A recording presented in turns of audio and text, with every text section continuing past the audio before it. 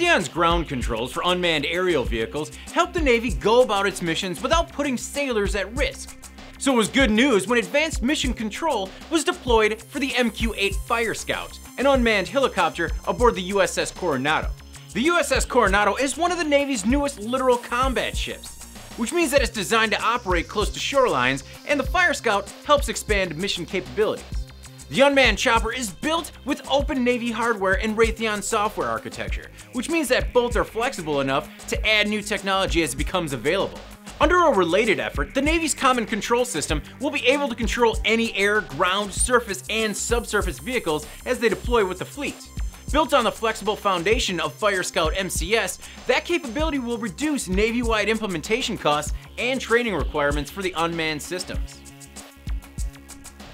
According to news from the American Chemical Society, we've just come a little bit closer to having tiny electronic devices that can be implanted into our bodies and then dissolve almost without a trace. Scientists have tried everything from DNA to proteins and metals to make transient electronics in the past. Well now, a team of researchers from the UK and China have created a dissolvable memristor out of egg proteins, magnesium, and tungsten. A memristor is a new type of resistor that regulates the flow of electric currents and can also remember charges. So how'd they do it?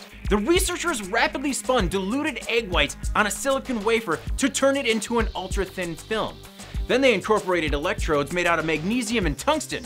In tests, the device performed as well as non-degradable memristors.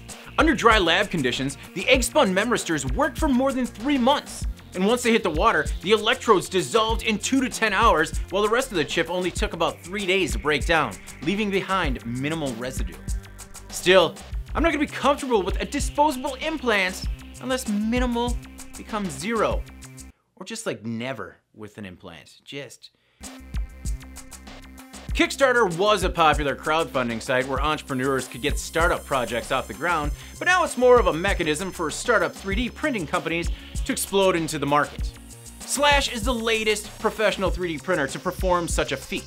The new printer from Uniz Technology initially asked for $50,000. You know, just get off the ground. But at 8 a.m. this morning, more than 500 backers had supported this project to raise more than half a million dollars. According to Uniz, Slash is a high-resolution LCD contact exposure 3D printer that's designed to create high-quality 3D prints without sacrificing speed or user-friendliness. It performs at the same level of precision and speed as industrial 3D printers while remaining affordable.